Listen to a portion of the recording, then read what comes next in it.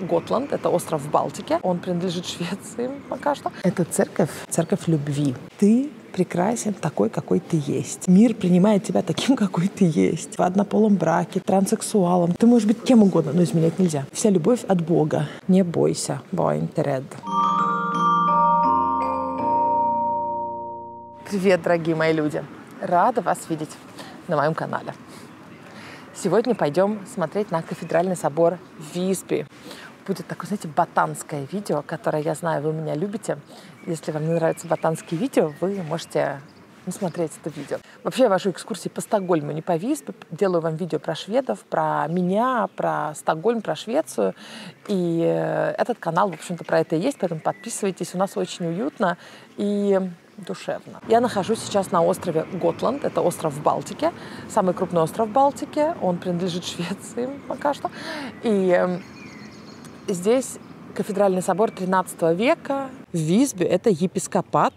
В Швеции 13 епископатов и архиепископ в Упсале. Это единственная средневековая церковь, которая все еще рабочая в Визбе. На самом острове, на Готланде, их 90 штук остались в практически первозданном состоянии. Но в городе Визбе было аж 17 средневековья. Почти все сегодня в руинах, и вот одна, которая все еще стоит. Просто после 15 да уже, в принципе, 14 века благополучие Готланда пошло вниз, и этого города тоже. И не нужно было 17 церквей в маленьком городе. Людей стало меньше, церкви держать дорого, поэтому они скинулись как бы и решили из всех церквей оставить одну. Я на Готланд езжу 22 года, почти каждый год. Исключение было 2004-2020. Зато за последний год я три раза поездила, поэтому я точно 22 раза здесь была уже. За что я люблю остров, наверное, вы можете посмотреть в моих видео, которые я несколько лет подряд снимаю уже здесь. Сегодня хочу именно про этот собор поговорить, потому что когда я еще не жила в Швеции, допустим, второй, третий, четвертый год, я уже ездила сюда регулярно, я мечтала просто, стояла, например, на моей работе, я работала на ресепшн в отеле пятизвездочном в Иерусалиме. Вот ты стоишь на ресепшене, и я просто закрываю глаза и мечтаю, что я сейчас сижу вот здесь, на этой траве, я именно об этой траве много лет мечтала, и слушаешь колокольный звон именно этой церкви. Что-то в этой церкви есть. Вообще церкви мне очень близки. Наверное, потому что выросла я все-таки в культуре христианства, пускай и православия, но все-таки это христианская культура, которая каким-то образом проникла в мою нерелигиозную относительно семью и в мою нерелигиозное. То есть что-то, конечно, такое родное вот в этих колокольнях, колоколах есть. Но я вообще не считываю тему Бога или Иисуса как что-то, что-то, во что я верю. Вообще нет. Тем не менее, церковь для меня сегодня это культурный пласт, это место как магнит, потому что здесь люди веками, да, намоленное место, веками сюда приходят, приносят свои горести, радости, похороны, свадьбы, молитвы, мечты.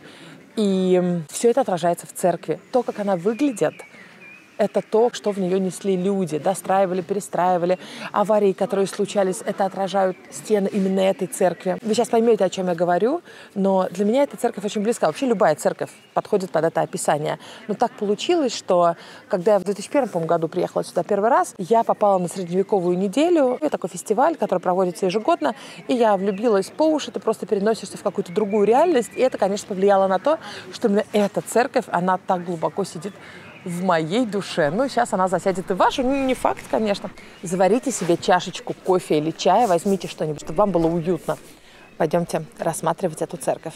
Кстати, вот так выглядела церковь в XVI веке, она сама XIII века. И сегодня, в принципе, она не сильно изменилась. Башня перестроена, две маленькие построены, но основа все та же. Это все еще церковь XIII века. На, по-моему, процентов 70 или даже 80, что очень много, в отличие от большинства других церквей мира. Люди испокон веков хотели объяснить непонятное. Они понимали, что многое необъяснимо, да? Какие-то физические моменты, какие-то моменты во Вселенной, то есть они просто необъяснимы до сих пор, ведь необъяснимы.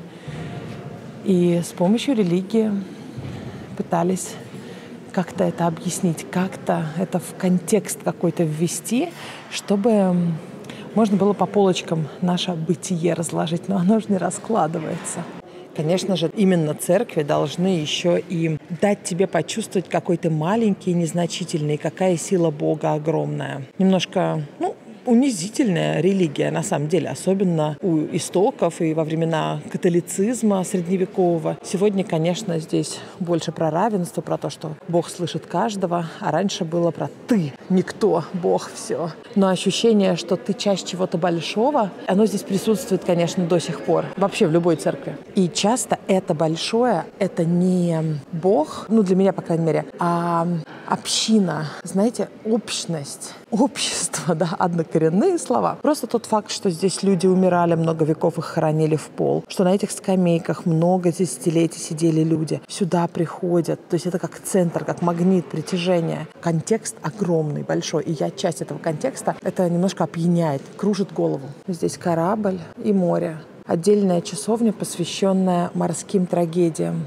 которые произошли в Балтике, как-то связаны с Готландом. Например, корабль Ханса потонул в 44-м. Он был частью транспорта с Готланда на материк. Дальше вот вам Эстония, 94 год, сентябрь. Помните, наверное паром. Дальше это посвященное беженцам из э, стран Балтии. В основном в 1944 году приехали сюда беженцы после того, как э, Советский Союз вошел туда освобождать. И цунами в 2004 году погибло очень много шведов и несколько из Готланда. В одной из частей церкви после службы такая традиция щирки кафе, церковное кофе.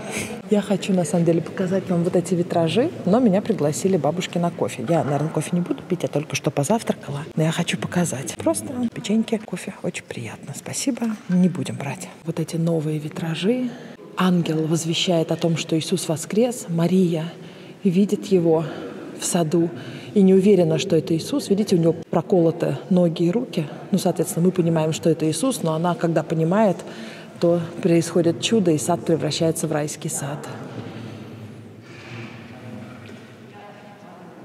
Отдельная маленькая часовня с этими витражами. Здесь можно похороны сделать поменьше, какие-то концерты маленькие провести. Но вот эти современные витражи мне очень нравятся, особенно вот это. Это имеется в виду Поднебесный Иерусалим. Это Иерусалим, который прямо под Богом. Ну, тут интересно, Святой Дух, голубь, и баран, символ Готланда. А еще посмотрите, в Поднебесном Иерусалиме, что у нас есть? Церковь Мария, это именно эта церковь. И вообще-то не совсем это Иерусалим, посмотрите. Это Готланд, конечно, но у Иерусалима тоже есть стена вокруг города. То есть здесь одновременно и Иерусалим, и Висби. Как им там хорошо, сидят кофе пьют. Здесь, посмотрите, у них выложен такой кораблик из э, известняка готландского. И можно написать записочку, карандашик и положить туда. И такая идея, что этот кораблик идет в вечность и в Царство Божье, ну то есть к Богу, конечно, уносит твое желание. Что-то вроде стены плача. Они здесь организовали. Первый раз вижу такое в шведской церкви. Вот там алтарь. Крестины обычно здесь северной часовне. Это копия средневековой Марии, которая здесь была с 13 века. Оригинал сейчас в музее. И вот здесь крестят младенцев. Тоже 13 век. Соответственно, там алтарь, а здесь у нас Мария, и если спиной к алтарю встать, Мария справа, получается, как э, Иисус справа от Бога в Царстве Божьем. Ну, то есть там уже наверху на облаке. Почетное место, в общем. Вот еще интересный момент – Здесь, э, видите, корабли в буре рушатся. Это произошло, по-моему, в 1566 Тогда э, Готланд был датский. Они пришвартовались тут, и начался шторм, который длился 6 часов. И корабли просто друг об друга сильно побило, и погибло больше трех тысяч человек за 6 часов. 500 лет назад. Вот и в честь этого здесь э, эта картина. Наверное, самое старое, что у них есть, это скульптура Иисуса. Он раньше одной рукой как бы крестит, а во второй руке что-то держит, я уже не помню. Но она существует здесь с самого начала церкви и раньше была на столбе. Столб, который, скорее всего, стоял чуть-чуть вот туда, чтобы этого Христа поднимать прямо в эту дырку в потолке то есть вознесение, чтобы получалось. Эта дырка в потолке, никто не знал вообще, для чего она, пока не померили ее диаметр и не померили Иисуса. Они прямо, знаете, разница в сантиметр, то есть он идеально заходит в эту дырку. Скорее всего, он туда как бы возносился в средневековых церемониях. Еще в этой церкви акцент на искусство. Бывают выставки регулярные, Плюс э, есть несколько современных икон. Вот это очень известная работа, где Иисус с радугой говорит «Не бойся, Боинтеред». Эта церковь не то что в отличие от остальных церквей, но более других церквей позиционирует себя как церковь любви. То есть ты можешь быть абсолютно кем угодно, любить кого угодно, пока это ну, ответно. И никто не может тебе сказать, что это как-то неверно, неправильно. Ты прекрасен такой, какой ты есть. Вот ты, кто смотришь это видео. Мир принимает тебя таким, какой ты есть. Вся любовь от Бога. Последнее предложение. Не от себя говорю, а цитирую церковь, потому что я в Бога не верю. Но я верю в любовь. Я верю, что мир принимает тебя именно таким, какой ты есть. И я живу так свою жизнь. Я знаю, что мне все рады. Те, кто не рады, это не моя проблема. Потому что я хочу всем добра. Я никому не желаю зла кстати, о любви. В прошлом году здесь был скандалище. Именно в этой церкви. Епископ изменил жене, ему пришлось оставить работу. Ты можешь быть в однополом браке, ты можешь быть транссексуалом, ты можешь быть все равно священником или священницей в шведской церкви, но ты венчаешь людей, и они тебе клянутся там вечной верности. Что они потом будут делать, это их проблемы. Но если ты принимаешь их клятвы, ты обязан сам им следовать. И, соответственно, священникам в шведской церкви нельзя изменять. Ну, то есть изменять это, конечно, наверное, не очень прикольно, потому что как бы обманываешь человека, но это ну, не незаконно, ну, come on, как бы. Вот. Но если ты священник, то это идет в разрез с твоими убеждениями. И епископ этот, он ушел от жены к любовнице и сказал, что я не могу больше работать священником, извините, у меня с ней отношения начались еще во время э, того, как я был женат. Вот такой скандал был, ну такой мягкий скандал, даже приятный скандал, что влюбился, ушел и сказал, извините, я честно, я не могу работать священником. То есть ты можешь быть кем угодно, но изменять нельзя.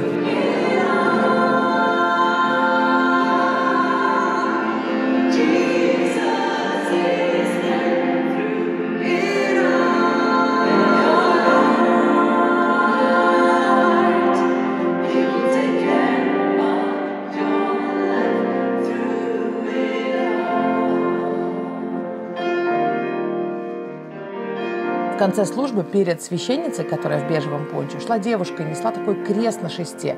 Этот крест всем главным церквям в Швеции подарила Эфиопская евангелическая церковь Миканы Иисус. Представляете, в Эфиопии есть вторая по величине лютеранская церковь в мире после шведской. Я, кажется, понимаю, почему для меня именно эта церковь такое намоленное место. Она на острове. Остров оторван от реальности немного. Для меня здесь просто как бы я умываюсь от всех тревог, от всех забот.